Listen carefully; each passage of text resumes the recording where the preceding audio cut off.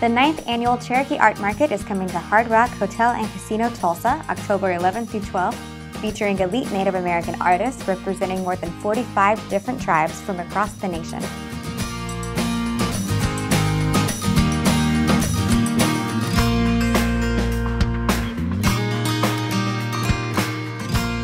This world-class art show continues to draw in thousands of guests. The Cherokee Art Market features the finest Native American artwork, including beadwork, pottery, painting, basketry, sculptures, and textiles.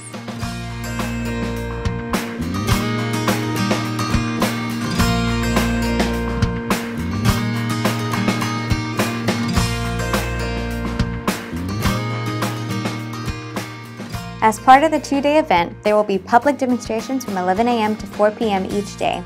Demonstrations include jewelry stamp work technique, kachina doll making, pottery, painting, and basket weaving.